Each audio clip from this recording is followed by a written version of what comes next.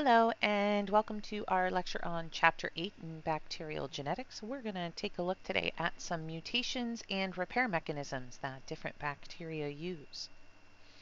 Uh, in order to evolve, since bacteria actually are, uh, uh, what's the word I'm looking?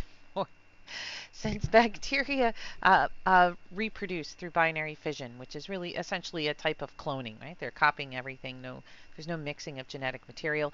Bacteria have to find other ways to uh, evolve right? Evolution is really based on changes in genetic patterns. So this is referred to as horizontal gene exchange. And bacteria utilize three different forms of bacterial gene exchange. They use uh, conjugation, transformation, and transduction. Um, oftentimes, in addition to their own horizontal gene exchange, some of that can be regulated uh, or uh, stimulated through environmental factors. So lots of different environmental factors can contribute to evolution of new bacterial strains, such as presence of an antibiotic or changes in temperature, salinity, uh, nutrient contents, as well as that horizontal gene exchange that occurs between uh, bacteria prokaryotic organisms oftentimes evolve past the genus species level into what we call subspecies or even down into sub subspecies, which may be like strains of E. coli, um, strains of uh, Vibrio cholerae. So there can be multiple bacteria of the same species that have very uh, minor genetic differences, but those minor genetic differences can evolve those organisms to be quite deadly. Uh, here in the bottom left, we just have kind of, this is a little cladistic uh, diagram, a cladogram, that is showing, it's tracing MRSA. Uh, when MRSA started back in the United States, it was a nosocomial infection found almost only in hospitals. It quickly became part of normal flora in general population outside of the hospital as well. And this is just a little tree showing the evolution of um, antibiotic resistance occurring in that MRSA strain over time.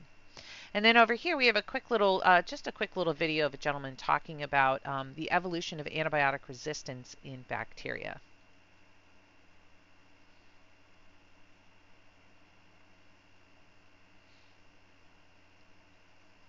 The bug has this sort of this intrinsic or innate programming to try to survive, like all of us. That's what we do as living organisms. Uh, and the best way we learn how to survive is through adaptation. Right? So Darwin's, you know, the, the thing that we all learned in high school, you know, survival of the fittest, it's true, but it's really survival of the most adaptable. Uh, and that's really what resistance is about. This is purely a numbers game. And so when you do give uh, a certain antibiotic and say you don't, you, you start missing your pills, so you're decreasing the dosing, then your killing is inefficient right? And when you have inefficient killing, you have more rounds of replication. The bugs are allowed to persist longer. And the longer a bug persists, they multiply, right? So an average bacteria like E. coli, for example, or staph, will double every 20 minutes, right? So every time it doubles, and then, you know, it's a, you know, you know, one to two, two to four, four to eight, so on and so forth, right? There's chances of mutations, chances of events happening where the bug is allowed to adapt.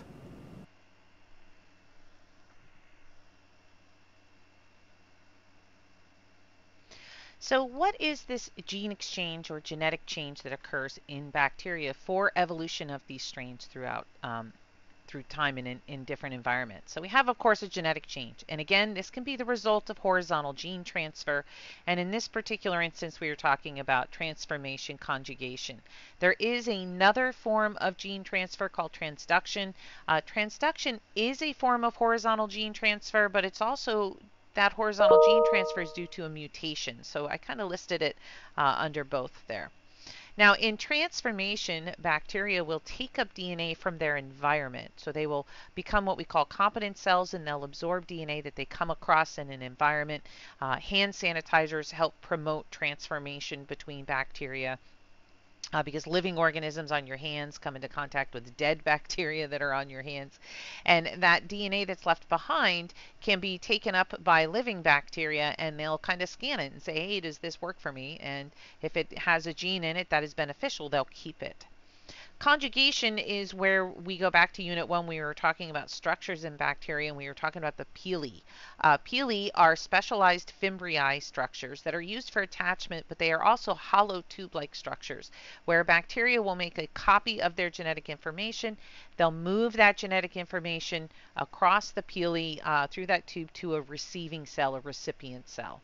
And that recipient bacteria cell will now take in that copy of plasmid, or at least a piece of it, and incorporate it into its own genome. So that genetic exchange has occurred, but there's no third cell as a result. So it's not sexual reproduction, it's just horizontal gene transfer.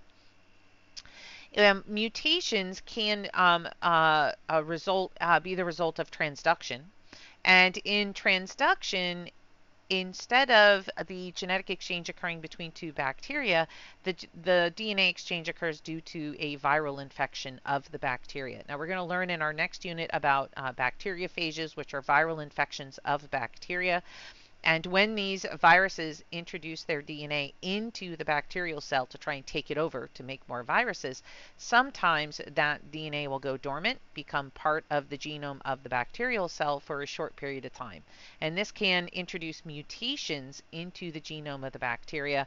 During binary fission, those mutations will get spread from one generation to the next.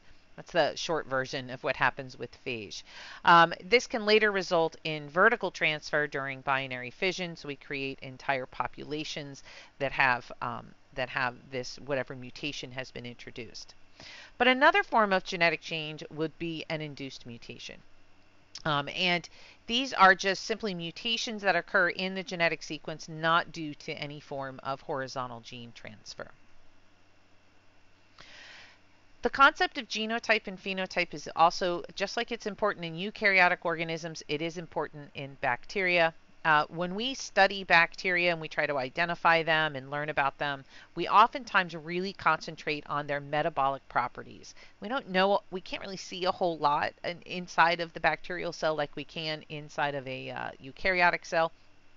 So we rely on metabolic characteristics. What can an organism break down? What can it not? And bacteria have a just unending array of different metabolic activities. So when we talk about genotype and phenotype, the genotype of a cell is its genetic makeup, and the phenotype is what the, that genetic makeup results in. So we think of phenotype maybe as what we see, but phenotype is also what that cell produces. So if a cell is able to metabolize a particular sugar, like lactose, we talk about the lac operon, the genotype is that the cell actually has the lac operon, has the, the genes to break down lactose. The phenotype is its actual fermentation of lactose, those enzymes that get produced because of that genotype. We use growth factors to um, study different types of mutations and uh, expression in genotype phenotype. Now, growth factor requirements are when we see a, um, let's say, uh, uh, the lac operon gets mutated. We didn't know that that was the lac operon. We just saw this genetic sequence, and so we disturb or knock out that genetic sequence through mutation and then observe to see if some kind of metabolic property has changed. So in that case, before the mutation, the bacteria could ferment lactose, and now after the after the mutation, the bacteria cannot. And that uh, type of study would tell us what the responsibility is of that gene, what the, the product or function of that gene would be. Uh, some terms to remember are auxotrophic and prototrophic. Now, an auxotrophic organism is one that when we grow it on agar, when we grow it in the laboratory, we have to add a specific uh, growth factor because the gene or the genotype of that particular organism has been mutated to remove that growth factor. Uh, we did uh, talk about the lac operon. There's another uh, uh operon that bacteria use called the trip operon or TRP for tryptophan. Bacteria are responsible for producing their own tryptophan. They don't really take in tryptophan and process it well. They actually synthesize their own. So when bacteria synthesize their own tryptophan, they um, they do not use it uh, they don't take it up from the environment, they just make their own.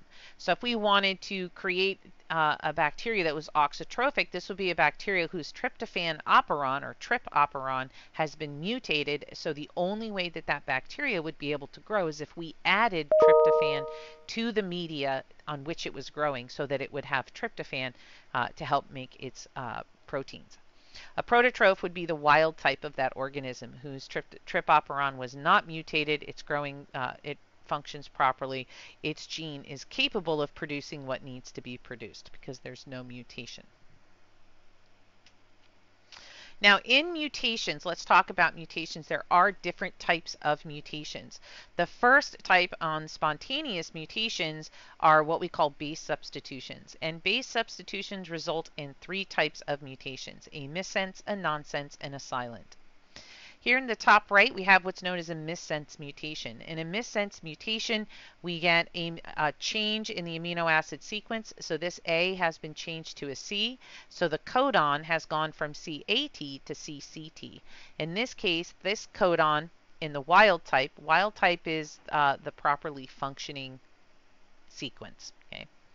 So in the wild type here, they should have a codon that encodes for histidine.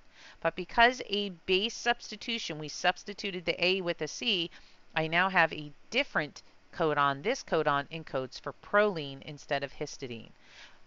When we have the primary sequence of a protein, if we put the wrong amino acid in the wrong place, this is going to ultimately trickle down to the secondary, tertiary, and quaternary structure of our protein, meaning it will not fold properly and doesn't necessarily function properly. So in a missense mutation, a base substitution has resulted in a new amino acid.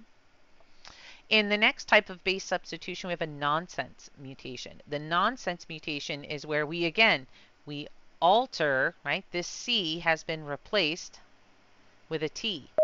In doing that, what should have been a glutamine is now resulting in a stop codon. This is a truncated protein. So if the protein has been cut short, that's what truncated means, means cut off. So if the, the protein has been cut off or, or truncated, it'll not function at all. So nonsense mutations almost always result in a non-functional protein. A truncated mutation is what we would do if we were going to um, uh, actually do an induced mutation on purpose. We would add a stop codon uh, do a, a, base substitution that would result in a stop codon so that the protein would not function at all and that's referred to as a knockout gene. We've knocked out the gene. The last is a silent mutation. In a silent mutation, we might replace um, one base with another base, but it results in the same amino acid. Go back to your uh, codon table from chapter 7 and take a look, and you'll see that most amino acids are actually encoded for by more than one uh, uh, codon. And if we have a mutation that occurs in the third position of a codon, most of the time it's not going to result in any kind of change in amino acid sequence. So in this case, we have a change in the genotype, but not a change in the phenotype. The next type of mutation is known as a frame shift mutation. Now in a frame shift mutation, this is due to the addition or deletion of a base. So we're actually changing the number of nucleotides in the actual gene itself, either increasing it or decreasing it. Now frame shift mutations are not always the result of a single base addition or deletion. Sometimes it can be a whole region, right? We can have an insertion of a small segment of DNA and that can result in a mutation as well. So uh, in a single base uh, insertion or deletion, or uh, we could we could say addition or deletion. Uh, here we have histidine being encoded for by CAT. But if a um, if a base gets removed, or if I move everything over by one, we just let's just say a base gets moved into here, right? So we move a base into here. And so if this gets inserted into here, that's going to shift everything over by one and now those codons are completely different. It results in a totally different amino acid sequence. Most of the time it's not going to be functional or do anything, so that insertion essentially ends up deleting that gene as well. So this can happen through addition of a base or deletion of a base, and this is referred to as a reading frame mutation or frame shift mutation.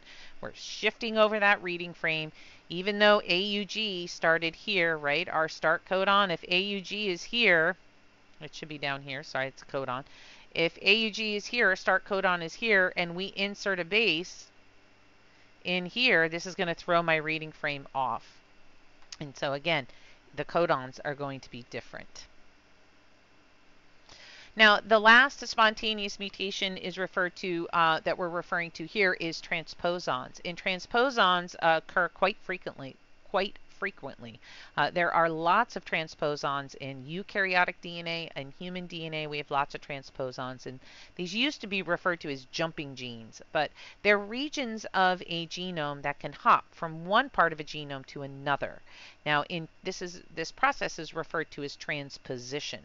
So we're moving trans, like think transportation. Trans is movement. And then so transposition, we are moving the position of this particular uh, gene segment. So instead of a single base pair moving around, here we're going to move an entire segment. Uh, transposons are unique in their movement because they have very specific sequences on either end of this fragment.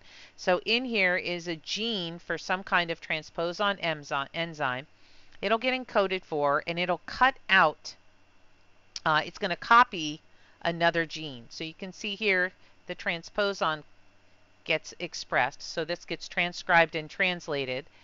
Once this gets transcribed and translated, it bends the DNA and actually copies a gene here. And the transposase enzyme will cut the gene and insert its own gene into the middle of it. This is going to disrupt this gene and introduce the transposon to a new position within the chromosome. Again, this can occur in a, a, close region of the chromosome, just like one section to the other. This can occur between uh, two different chromosomes in eukaryotic organisms. This can also occur between uh, a chromosome, a bacterial chromosome, and a bacterial plasmid. So these are small segments of DNA that are capable of moving from one region to another. The transposon, in addition to its own transposase enzyme within that gene segment, will oftentimes contain other genes. It all just depends on where these uh, start and end sequences actually occur on either side of the transposon. So the transposon itself contains the gene for transposase but may have other gene material in it. So it's, it's much larger than that. Many times antibiotic resistance genes or genes for different toxins are also close to transposons. So when they move that gene segment from one chromosomal region or one genome region to another, they will bring with it antibiotic resistance or uh, toxin uh, virulence genes, virulence factors. Induced mutations include uh, chemical mutations. So induced mutations tend to be mutations that are introduced environmentally. There are several different chemical mutations, or, or excuse me, chemical mutagens. Mutagen is the term for um, a compound that will induce a mutation. Uh, chemical mutagens can do things like modify bases. They can create base analogs. So we have a molecule that mimics a base, but it's not quite a base. Uh, and then we have what are called intercalating agents. Transposons are considered spontaneous, but they also can fall into uh, induced mutations when they get introduced through a second pathway, such as conjugation or transformation. And then last we have radiation, which is uh, light. Different wavelengths of light can, of course, have an effect on genetic makeup. So when in part two of this lecture, when we come back, we are going to talk about induced mutations, uh, and we will uh, cover some of the different chemicals and base analogs that are introduced environmentally, as well as some of the light sources that um, that are induced mutations. See you in the next one.